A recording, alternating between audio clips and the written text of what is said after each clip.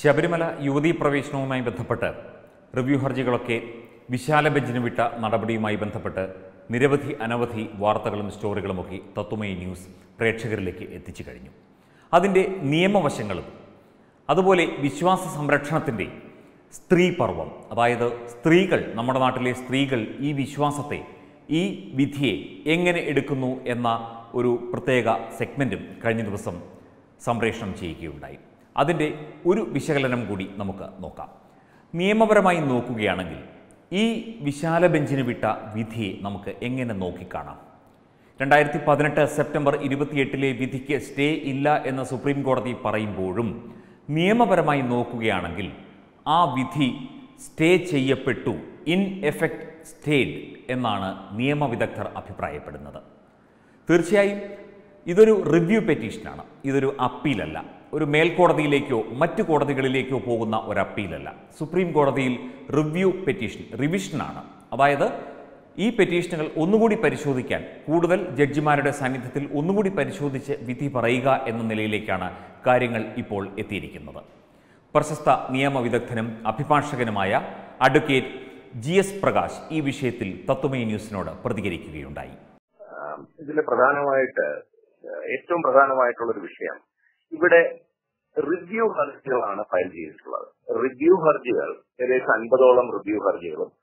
ആ റിവ്യൂ ഹർജി നിലനിൽക്കുമ്പോൾ റിട്ട് പെറ്റീഷൻസ് അതിനോടൊപ്പം തന്നെ ഫ്രഷ് റിട്ട് പെറ്റീഷൻസ് ഫയൽ ചെയ്തിരുന്നു.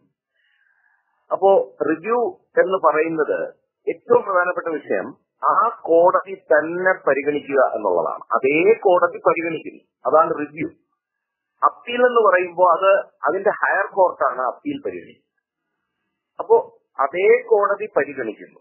അതേ ആ കോടതി തന്നെയാണ് പരിഗണിക്കുന്നത്. അങ്ങനെ ആ അതേ സെയിം അഞ്ചംഗ ബെഞ്ച് ഇത് റിവ്യൂ പെറ്റീഷൻസ് പൂർണമായിട്ട് കേൾക്കുകയും കേട്ടതിന് ശേഷം അതിൽ ഭൂരിപക്ഷ വിധി അതായത് ഭൂരിപക്ഷ ജഡ്ജ് മൂന്ന് പേര് ചീഫ് ജസ്റ്റിസ് കൂടാതെ രണ്ട് ജഡ്ജസ്.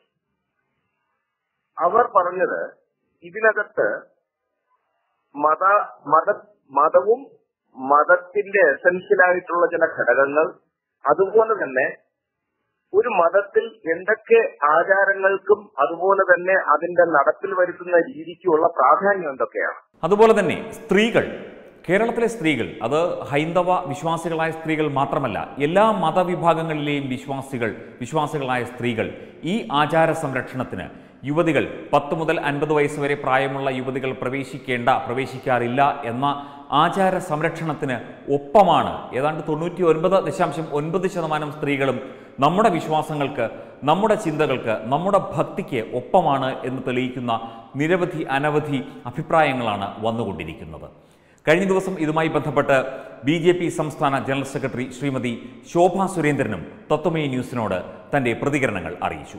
ഒരു വിധി ന്യായം പുറപ്പെടുവിച്ചതിന് ശേഷം അതിനകത്തു തന്നെ വീണ്ടും ഒരു പുനർവിചിന്തനം വേണം എന്നുള്ള സാഹചര്യത്തിലേക്ക് ജഡ്ജിമാർ മാറുന്നതും അവിടെ തന്നെ ഭൂരിപക്ഷ അഭിപ്രായം എന്നുള്ളത് വിശ്വാസികളുടെ ഭാഗത്ത് ആകുന്നതും ഓരോ വിശ്വാസിയെയും സംബന്ധിച്ച് ആത്മവിശ്വാസം വർദ്ധിപ്പിക്കുന്നതും അവർ കഴിഞ്ഞ കാലങ്ങളിൽ നടത്തിയിട്ടുള്ള അവരുടെ സഹനത്തിന്റെയും അവരുടെ ആത്മത്യാഗത്തിന്റെയും പരിണിത ഫലമായിട്ടാണ് അതിൽ വളരെയേറെ സന്തോഷിക്കുന്നു.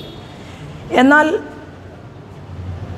പന്ത് കേരളത്തിന്റെ മുഖ്യമന്ത്രിയുടെ കോർട്ടിലാണുള്ളത്.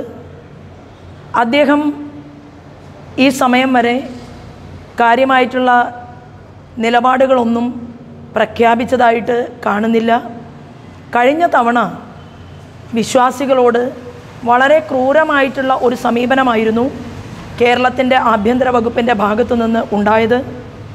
അവിടെ ഈ വിധിന്യായത്തിന്റെ പേരിൽ കഴിഞ്ഞ വർഷം സെപ്റ്റംബർ ഇരുപത്തി എട്ടാം തീയതി നടന്ന വിധിന്യായത്തിന്റെ പേരിൽ യുവതീ പ്രവേശനം സാധ്യമാക്കും എന്നുള്ള കഠിനമായിട്ടുള്ള വ്രതമെടുത്തത് കേരളത്തിന്റെ ആഭ്യന്തര വകുപ്പാണ്.